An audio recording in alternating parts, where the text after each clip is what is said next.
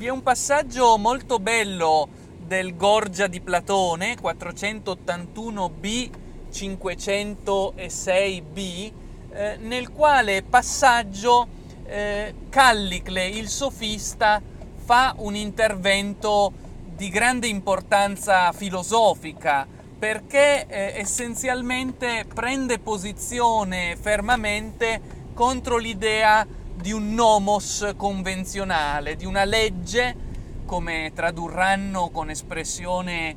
eh, non propriamente convincente, dirà eh, Heidegger e dirà anche Carl Schmitt il termine greco nomos, eh, la legge convenzionale è eh, dal punto di vista di Callicle qualcosa che deve essere contestato. E deve essere contestato essenzialmente in ragione del fatto, scrive eh, Platone, che eh, per Callicle e per la sofistica da lui rappresentata il nomos è il modo in cui i più deboli si organizzano per limitare e dominare eh, l'aristocrazia naturale dei più forti. L'argomento di Callicle in sostanza è quello secondo il quale se si rimuovesse il nomos allora prevarrebbe quella che potremmo definire la legge di natura, la lex nature, in accordo con la quale a trionfare è necessariamente il più forte, o per usare il lessico impiegato da Callicle, l'aristocrazia dei migliori, o i aristoi, i migliori, quelli che sono più forti, che hanno maggiore vigoria dello spirito e del corpo. L'argomento di Callicle è interessante perché rappresenta il classico punto di vista eh, sofistico, o meglio, uno dei classici punti di vista sofistici che Platone perlustra e analizza eh, nei suoi dialoghi. Naturalmente Socrate eh, avrà buon gioco a rovesciare la prospettiva di Callicle e a sottolineare l'importanza del nomos. Ciò che mi preme sottolineare, tuttavia, con un salto eh, clamoroso nel tempo che ci porta al nostro presente, è che in fondo l'argomento di Callicle, eh, mutatis mutandis, è l'argomento sotteso al punto di vista, alla prospettiva di quello che oggi è noto come liberismo il liberismo di fatto non è altro che un tentativo di rendere operativa, pur senza menzionarla, la legge di Callicle, il teorema di Callicle, che, prove- che prevede appunto che occorra eh, produrre quella che il lessico contemporaneo mercatistico chiama eh, la deregulation, la deregolamentazione, ossia si potrebbe anche rendere così in riferimento al mondo classico eh, l'annichilimento del nomos, se per nomos intendiamo la legge convenzionale eh, che disciplina lo status nature e fa sì che prevalga una forma di socialità convenzionale che tutela effettivamente, come anche Callicle potrebbe eh, dire, i più eh, deboli, i meno, i meno forti. In effetti possiamo senza perifrasi sostenere che larga parte del Novecento, eh, e più precisamente della seconda metà del Novecento, è stato anche un tentativo di eh, porre un nomos nell'accezione di Callicle, è stato un tentativo di normare quel, quella potenza della natura scatenata che è il mercato lasciato a se stesso. Eh, del resto, pur senza citare specificamente Callicle, un esponente della sofistica liberista contemporanea come von Hayek, il nume tutelare del liberismo cosmopolita centrato sull'idea di un mercato deregolamentato e borderless, esteso quanto il mondo e non di meno eh, presupponente uno Stato forte, a mo' di guardiano che garantisce il retto funzionamento del mercato senza interventismi di lacci e lacciuoli statali. Ebbene, il sofista liberista von Hayek eh, suo, eh, nei suoi ragionamenti intorno al liberismo eh, sostiene apertamente, ad esempio nel suo testo eh, in cui ragiona esattamente sulla servitù coincidente con tutto ciò che liberismo non è di fatto, perché von Hayek critica eh, direttamente il socialismo quale si viene concretamente realizzando eh, nell'Ottocento, ma poi adimira in verità ogni possibile forma di intervento dello Stato nell'economia. Ebbene, von Hayek lo dice testualmente in maniera eh, palese che eh, il liberismo presuppone, se ridotto al suo nucleo essenziale, che eh, la concorrenza senza limitazioni, senza nomos, se volessimo dirla con Callicle, senza legge, eh, è la ragione più alta per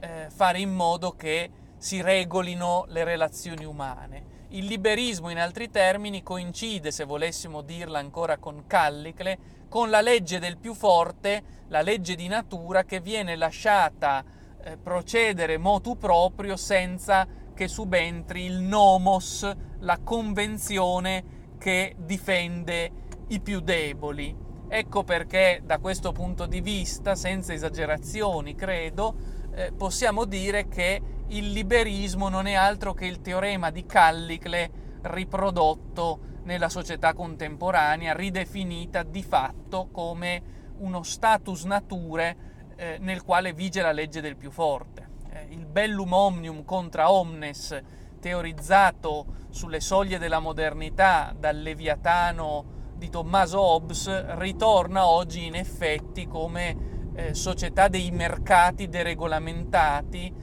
eh, come status nature eh, nel quale decide la forza del più forte, la forza di chi è eh, più in grado di competere e di imporre il proprio punto di vista grazie alla semplice forza del competitivismo, senza alcun nomos che possa intervenire. Si capisce in quest'ottica perché von Hayek apertamente possa sostenere nei suoi scritti che l'idea stessa di una giustizia sociale è in realtà la massima ingiustizia, perché va a turbare eh, quel cosmos, egli lo chiama espressamente così, il cosmos, la naturalezza data già da sempre della legge del mercato, va a turbare quel cosmos e impone invece una forma di nomos convenzionale che in quanto tale eh, viola la sacra legge naturale della competitività eh, mercatistica sicché per Callicle, proprio come per von Hayek, si tratta in fondo di eh, annichilire ogni nomos convenzionale a difesa dei più deboli e di lasciare che si esprima liberamente la potenza dei più potenti, ossia la legge della pura natura data in quanto tale, che naturalmente Callicle concepisce nella sua maniera più ampia, von Hayek eh, concepisce invece in maniera mercatistica legata alla lex eh, del mercato, ridefinito appunto come bellum omnium contra omnes. In effetti, senza esagerazioni ancora, possiamo dire che il liberismo, con la sua vocazione deregolamentante e insieme riregolamentante, eh, lavora esattamente con le categorie di Callicle, perché per un verso mira a deregolamentare il mercato di modo che esso non subisca eh, perturbazioni legate al nomos, alla legge dei più deboli, alla morale del gregge, se volessimo dirla alla maniera di Nietzsche. Eh, laddove eh, in seconda istanza procede poi, dopo aver deregolamentato il mercato, riregolamentandolo con leggi che siano di fatto a tutela della legge del più forte. Eh, lo Stato liberista, così come si realizza oggi nella cornice storica post 1989 e così come viene apertamente teorizzato da eh, von Hayek, è uno Stato che di fatto svolge la parte eh, del guardiano notturno, per usare un'espressione classica della stagione eh, della stagione liberale. Il guardiano notturno non fa altro che aggirarsi fra eh, i luoghi del mercato a controllare che eh, il mercanteggiare proceda senza disturbi e impedimenti introdotti da forze terze. In sostanza è eh, una eh, forza che vigila per il mercato, governa per il mercato e non il mercato, governa di modo che il mercato proceda senza impedimenti. È quello che oggi nel lessico eh, della nostra contemporaneità, della nostra costellazione post-nazionale, come l'ha chiamata Habermas, figura essenzialmente con, eh, come governabilità. Governabilità in fondo dice questo, dice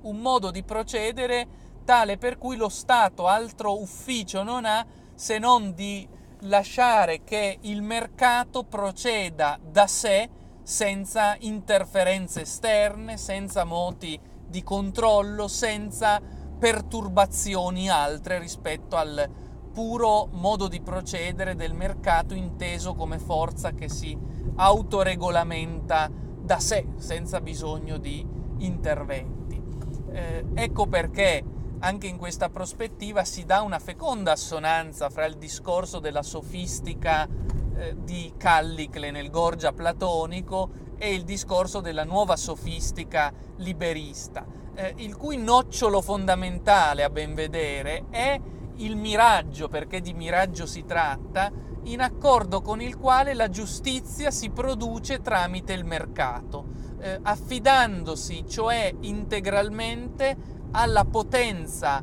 eh, che basta a se stessa del mercato. Ora, noi sappiamo, quando anche non vogliamo prestare ascolto alle visioni più radicalmente marxiste-leniniste, noi sappiamo comunque che, quale che sia l'angolo prospettico da cui lo guardiamo, il mercato da solo non produce giustizia, produce l'utile del più forte, se volessimo dirla con un altro esponente della sofistica chiamato in causa da Platone in un altro suo dialogo, il primo libro della Repubblica, cioè Trasimaco, che smaschera esattamente il concetto anche oggi dominante di giustizia, che in realtà è un nomos che non fa altro che giuridificare la legge del più forte, cioè la legge messa a tema da Callicle. Si dà sotto questo profilo una piena complementarietà fra la tesi di Trasimaco nel primo libro della Repubblica e la tesi di Callicle nel Gorgia. Eh, l'utile del più forte, ossia la legge di natura, deve essere anche la sola legge riconosciuta, essenzialmente deve essere essa soltanto il nomos eh, riconosciuto e fatto valere. In quest'ottica il liberismo opera alla maniera sofistica effettivamente, perché pone in essere una legge che altro non è se non la legge del più forte a beneficio del più forte. La deregulation, la deregolamentazione produce esattamente questo campo di conflitto permanente che esiste nella figura del competitivismo radicale, del competitivismo radicale in forza del quale, tra le altre caratteristiche, si ha anche eh, una sorta di annullamento della stagione dei diritti sociali legati alla cittadinanza di uno Stato sovrano welfaristicamente e keynesianamente praticato e inteso. Eh, quelli che un tempo erano diritti scaturenti dalla stagione del welfare, eh, rampollanti dalle conquiste salariali delle classi più deboli e istituzionalizzati grazie alla forza normante dello Stato nazionale, tendono a essere ridefiniti come merci. Eh, questo avviene nell'ambito dell'istruzione, della sanità, eh, in tutti gli ambiti che un tempo erano eh, pertinenti eh, rispetto al pubblico, rispetto allo Stato eh, welfaristico. Diventano merci, cioè astrattamente disponibili per tutti e concretamente disponibili per chi possa permetterseli nell'ambito della competitività generale che riduce la società tutta a eh, un grande mercato, come recentemente ha sottolineato in un suo studio eh, Alain de Benoit, eh, la société n'est pas un, mer- un, marché, cioè la società non è un mercato. Ebbene, eh, la ragione liberista tende eh, invece a ridefinire esattamente la società come un marché, come un mercato competitivo, dove appunto prevale la legge del più forte. Crolla allora quello che in fondo era stato uno dei miraggi della stagione moderna, lo si trova eh, in Ferguson come in Montesquieu, lo si trova come in Benjamin Constant eh, e negli altri autori della galassia liberale, ossia il teorema in accordo con il quale il guerreggiare degli antichi è sostituito eh, dal calcolare dal mercanteggiare dei moderni e di una libertà intesa come competitività, potremmo tradurre così il discorso di questi padri nobili del eh, liberismo contemporaneo. E in realtà il dolce commercio, secondo una formula che ricorre largamente, quasi fosse un topos nel dibattito a cavaliere tra 700 e 800, ecco, il dolce commercio in realtà eh, è eh, realmente poco dolce, eh, convive anzi con forme di bellicismo econo- economicistico, il liberismo scatena anzi una guerra competitivista senza frontiere, è il caso di dire. Eh, già Marx nel Capitale eh, scherniva e sbertucciava i teorici del dolce commercio, dopo aver descritto la spietata efferatezza del capitale, grondante sangue sporcizia dalla testa ai pori, eh, ricorrente a leggi fra il grottesco e il terroristico, sono tutte espressioni che ricorrono nel libro primo del Capitale di Carlo Marx, ebbene dopo aver schernito eh, e denunziato queste prerogative del mondo capitalistico dice eccolo il dolce commercio, questo è il dolce commercio a cui fanno riferimento i teorici, tra cui Montesquieu, ripeto, del dolce commercio. In realtà è una guerra a tutti gli effetti, una guerra intesa come competitivismo, come legge del più forte. Eh, in effetti, senza esagerazioni, si potrebbe ancora dire che il cosiddetto eh, libero mercato, eh, il competitivismo, può altresì intendersi vuoi come libera volpe in libero pollaio, secondo l'espressione eh, a cui ricorre spesso Serge Latouche in Francia per descrivere l'anomia, eh, la perigliosa anomia del libero mercato liberista. Eh, può essere anche definito come un libero cannibalismo di fatto, mediante il quale è concessa eh, piena libertà di uccidere ai più forti in assenza di uno Stato come terzium che modera e disciplina il conflitto e che viene neutralizzato dalla potenza liberista dominante. Eh, più precisamente, anche su questo bisognerebbe eh, gettare luce, mh, mm, non si tratta dal punto di vista liberistico di neutralizzare e annullare lo Stato, si tratta semmai di ridefinirlo e rifunzionalizzarlo al servigio del mercato. Sotto questo profilo, effettivamente, con il mondo liberista lo Stato non cessa di esistere, cessa semmai di esistere come superiorem non recognoscens, secondo la formula di Baudin. Eh, cessa di esistere come legibus solutus, come stante al di sopra rispetto alle leggi e come realtà suprema. Lo Stato liberista è sottoposto a qualcosa di più alto che è appunto il mercato, che diventa esso stesso il superiorem non recognoscens e il legibus solutus, perché nel rovesciamento del rapporto fra Stato e mercato è ora il mercato a dettare legge allo Stato e ad avvalersi dello Stato come proprio strumento. Eh, lo Stato liberista in effetti è lo Stato eh, che non governa il mercato, ma che governa per il mercato, che governa di modo tale che il mercato proceda sempre indisturbatamente a beneficio della legge di Callicle, del più forte, senza che mai vengano reintrodotti margini di nomos in grado di disciplinare il mercato a beneficio dei più deboli. Sotto questo profilo, se volessimo eh, riflettere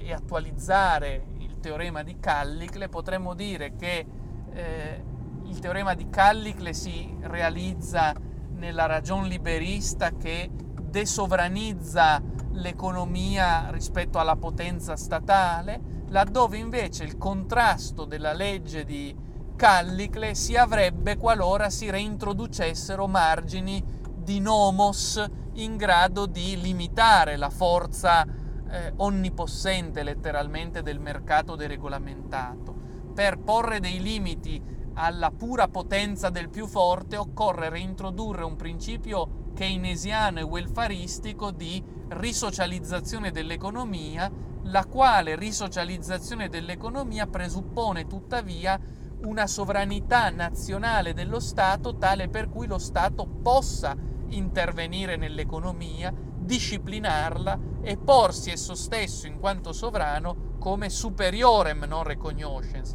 reintroducendo quel rapporto tra Stato e mercato squisitamente moderno eh, nel quale era lo Stato a stare sopra il mercato e a disciplinarlo. Ecco perché eh, la legge di Callicle è essenzialmente oggi, nell'odierna cornice del liberismo cosmopolita, la legge del più forte, ossia la legge dei ceti che dal libero mercato traggono vantaggio, eh, riuscendo a imporre questa loro narrazione squisitamente di classe anche ai ceti più deboli, i quali per converso avrebbero tutto l'interesse, Sava Sandir, a reintrodurre il nomos, la legge che disciplina la legge del più forte di natura e che introduce margini di eh, democrazia, di diritti sociali, di leggi appunto eh, a vantaggio dei più deboli diceva eh, il cardinale Richelieu che in, fondo, che in fondo governare non è altro che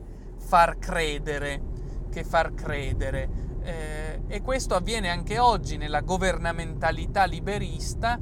che riesce a governare nella misura in cui riesce a far credere anche a quanti traggono solo documento dalla ragione liberista, non di meno riesce a far credere anche a loro